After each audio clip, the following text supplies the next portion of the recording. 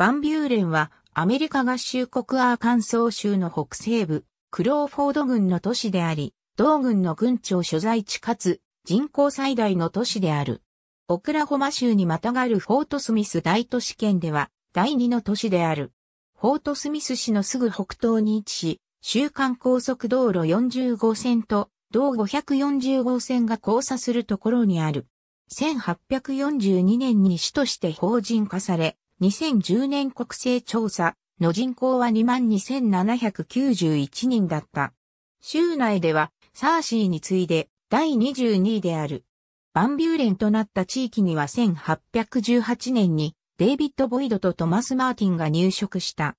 1819年にアーカーソーが準州になった後、ダニエル・フィリップスとトマス・フィリップスが町に製材所を建設し、アーカンザス側に沿った交通の燃料基地になった。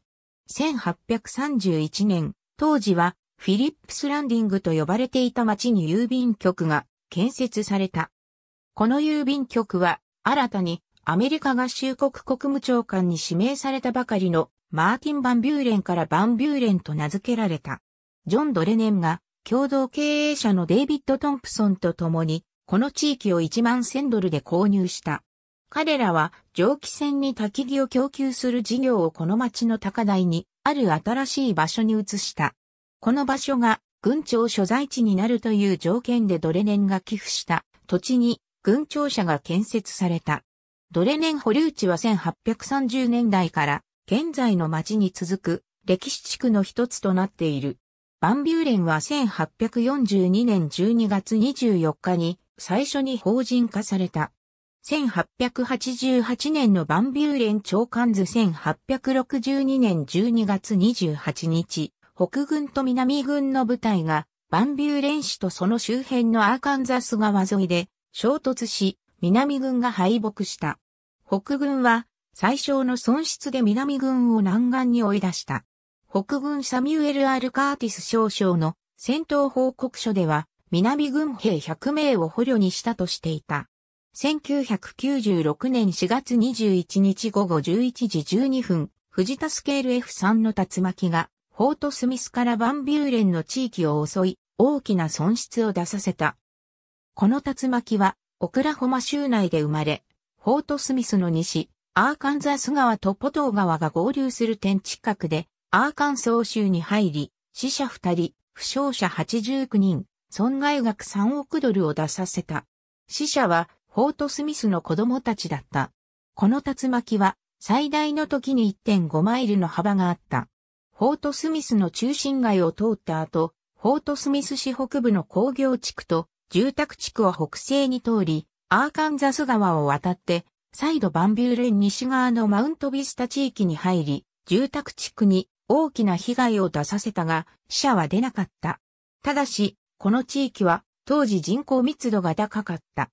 竜巻が通過した地上距離は7マイルになった。地域全体で家屋1800個が損失を受け、その大半がバンビューレン市内にあった。バンビューレンはクローフォード郡の南西宮にあり、座標は北緯35度26分40秒整形94度20分48秒北緯35.44444度整形94.34667度、35.44444-94.34667である。アーカンソー州とオクラホマ州の宗教が西2マイルにある。アーカンザス川が市の南市境となり、セバスチャン郡のフォートスミス市とを分けている。リークリークが市の西側を流れてアーカンザス川に入っている。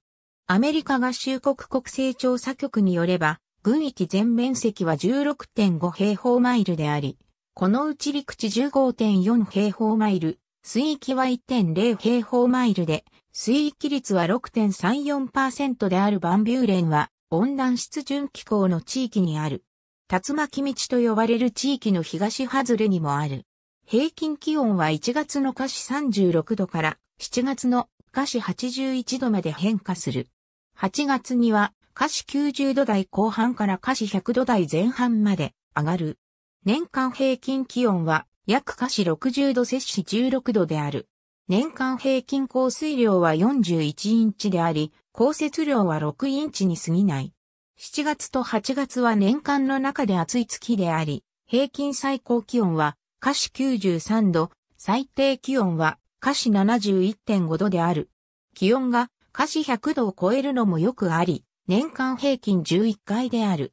12月と1月が最も寒い月であり、平均最高気温は華氏50.5度、最低気温は華氏30度である。最高気温が華氏32度を下回るのは年平均5回あり、平均5年に1回、華氏0度以下になる夜がある。過去最高気温は1936年に記録された華氏113度、過去最低気温は1899年に記録された華氏15度である。メインストリート以下は2000年の国勢調査による人口統計データである。バンビューレン市には州内の多くの大企業があり、その港湾産業団地内で市の人口の多くを雇用している。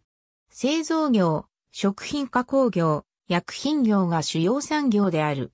大雇用主には鶏肉加工のタイソンフーズとシモンズ、バンビューレン教育学区、USA トラック、アレンズ、サミット医療センターがある。バンビューレン市には19世紀後半から旧中心街歴史地域の一部にビクトリア様式建築の演芸場、キングオペラハウスがある。歴史的中心街南端にはクローフォード軍庁舎があり、ミシシッピ川より西では最古の現役庁舎である。北には旧フリスコ駅がある。もともとセントルイスサンフランシスコ鉄道の駅だった。バンビューレン歴史的中心街の一部フォートスミス、大都市圏の一部として、フォートスミス市に本拠を置く多くのテレビ局が、送信塔をバンビューレン市内に置き、地方ニュースや天気予報を流している。市内主要新聞は、バンビューレンプレスアーガスクーリエがあるが、多くの人が、フォートスミスの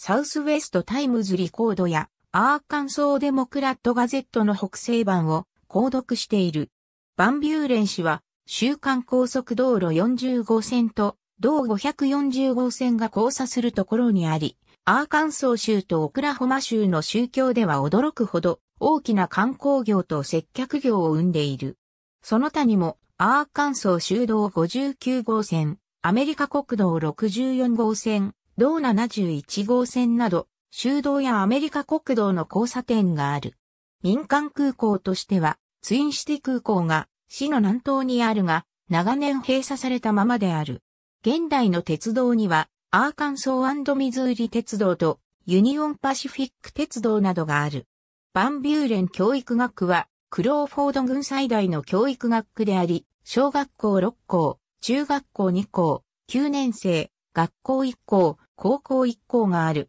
バンビューレン高校は、アーカンソー州高校スポーツの 7A 中央地区にある。キングオペラハウス。ありがとうございます。